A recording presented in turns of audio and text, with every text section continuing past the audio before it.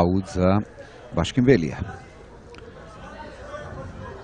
Три минути е останали вака, ќе биде ова трет меч како играат без голови на последните шест соочувања во Кратово. Георгиев на Бела.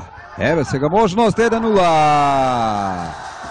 1 спрема 0, ново лезение Димитар Иванов, 88 минута. Се исплатеше